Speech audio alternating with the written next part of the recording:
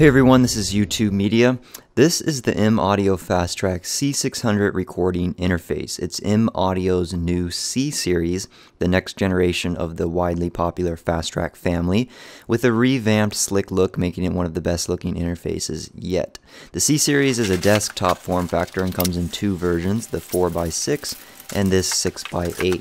So the C600 here is a 6x8 interface. It has two digital inputs and four XLR microphone slots, giving you six inputs total. And the eight outputs come from six TRS jacks and two digital. There's also a MIDI input and output for connecting keyboards or synthesizers. On the front is two quarter inch inputs for connecting instruments and two quarter inch headphones jacks.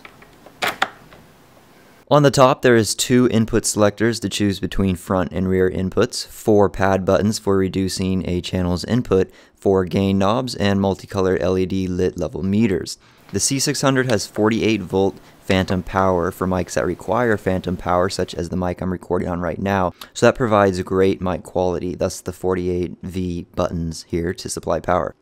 On the right is the general power light. You can connect up to three different pairs of speakers, so they provide you with output selectors A, B, and C to switch between. Here are two headphone volume knobs.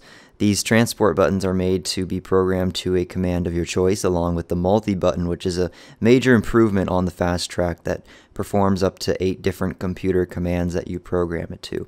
One of the best features of the C600 though is it has built-in DSP, which gives you reverb and delay on each headphone output for low latency recording with effects.